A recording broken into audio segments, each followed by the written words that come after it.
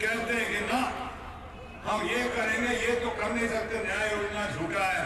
तो मैं कहता हूँ कि तुम जितने ढकोसले, जितने खोखले वायदे करो, वो रासलीला और जितना सॉलिड वायदा राहुल गांधी और उनकी टीम करे, वहाँ करेक्टर ढीला, ये नहीं चलेगा। नमस्कार, मैं हूँ अक्षय आनंद, आप लाइव सिटीज़ देख रहे हैं। महागठबंधन के प्रत्याशी रघुवंश प्रसाद सिंह। जी हाँ हम वैशाली की बात कर रहे हैं। वहाँ एक जनसभा का आयोजन था, जहाँ बिहारी बाबू शत्रुघ्न सिन्हा पहुँचे।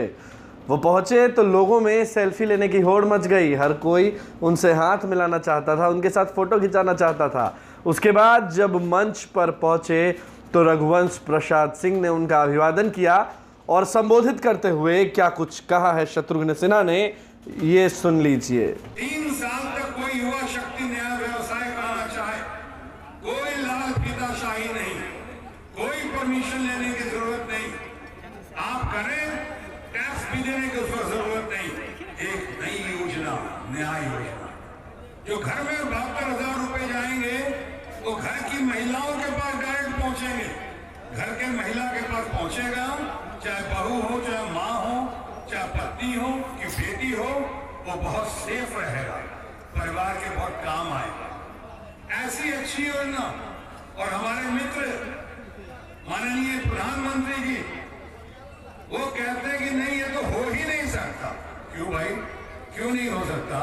किसानों का कर्जा पहले माफ़ करके दिखा दिया है, राहुल जी ने दस दिन का कह के छह दिन में करके दिखा दिया है। और तुम कहते हो ही नहीं सकता। और तुमने जितने झूठे वायदे किए, एक भी वायदा पूरा नहीं किया।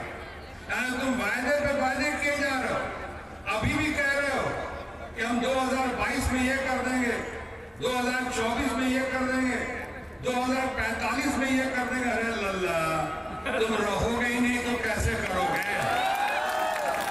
तुम्हारी कहानी तो 2019 में मेरा हमारे रघुवंश बाबू जैसे लोगों ने खत्म कर दिया। तुम्हारी कहानी खत्म है। अब तो रघुवंश बाबू के नेतृत्व में आगे चलना है। क्या पैसा वादा किए जा रहे हो आप लोग?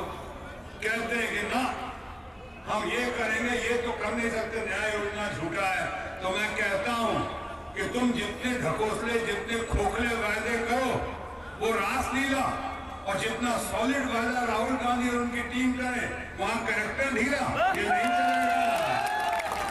इन्हीं बातों पे सोच के अंग्रेज़ी में कहते हैं इसको फ़ूड फॉर थॉट हिंदी में कहेंगे मानसिक आहार। जरा गौर से सोचो हमने कितनी उम्मीदों के साथ, कितनी एग्रेसिव मार्केटिंग के साथ कितने नारेबाजी के साथ? तो भाजपा को अब खुली चुनौती दे रहे हैं शत्रुघ्न सिन्हा। खुद पटना साहिब से कैंडिडेट हैं। मुकाबला रविशंकर प्रसाद से है, मगर रघुवंश प्रसाद सिंह को जितवाने के लिए वैशाली भी पहुँच गए हैं। वैशाली में भी टक्कर कांटे की है, सामने वीणा देवी हैं, दोनों ही उम्मीदवार और दोनों ही गठबंधन अपनी पूरी ताकत लगाए हैं। आगे देखना है कि जीत किसकी होती है। आप लाइव सिटीज़ के साथ बने रहें, क्योंकि बिहार से जुड़ी सभी अपडेट्स सबसे पहले हम आप तक पहुँचा रहे हैं। अगर अभी तक आपने हमारे चैनल को सब्सक्राइब नहीं किया है तो सब्सक्राइब कर लें। बेल आइकन भी दबा दें। आपका बहुत बहुत शुक्रिया।